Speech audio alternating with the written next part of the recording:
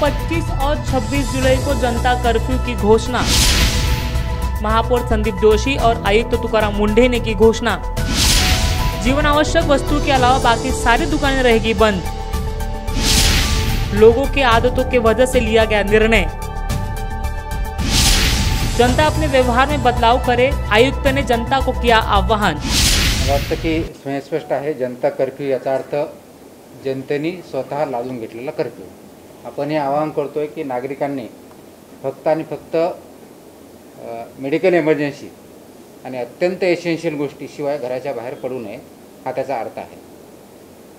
त्या गोष्टी सोडून सर्वांनी घरात राहावं इन्क्लुडिंग शॉपकीपर्स असतील मार्केट्स असतील यांनीसुद्धा शॉप उघडू नयेत हे अपेक्षित आहे. एक्सेप्ट मेडिकल इमर्जन्सी म्हणजे मेडिकलचे जे शॉप्स असतील किंवा दुधाचे वगैरे जे शॉप्स असतील याच्या व्यतिरिक्त कुणीही ते शॉप्स उघडू नये.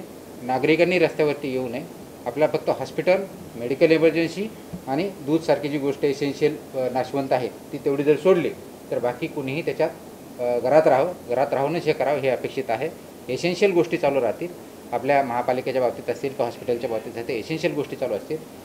प्रशासन आपल्या कंट्रोल रूम आहेच जिथं कुठं गरज पडली त्याप्रमाणे असेलच. आणि म्हणून जसं महापौर महोदयांनी सांगितलं की सर्वांनी असा मॅन ठरवलेला आहे की आणि पहिल्यापासूनच आमचा जो आहे की आमचा फोकस हा बिहेवियरल चेंजवरती आहे.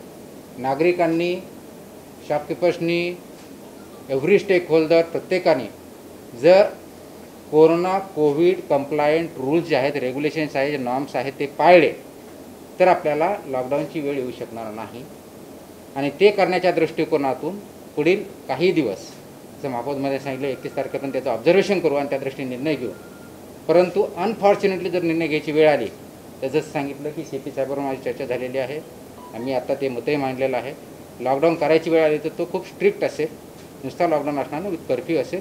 मात्र ते डिपेंड करत आहे नागरिकांचं स्टेक होल्डर्सचं शॉपकीपरचं प्रत्येकाचं बिहेवियर कसं आहे ते इम्प्रूव्ह झालं पाहिजे.